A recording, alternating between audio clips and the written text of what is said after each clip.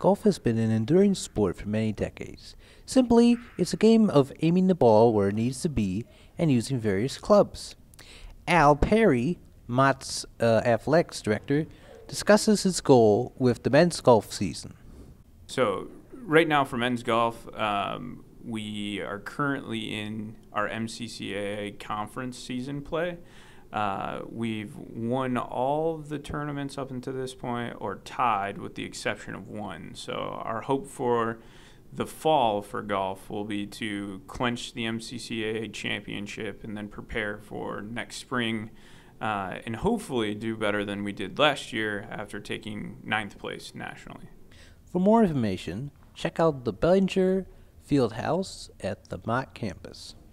This is Daniel Gomery from Mott Community College. Sign off at WFAH 102.1 LPFM, where Flint Arts happen, a program of Greater Flint Arts Council.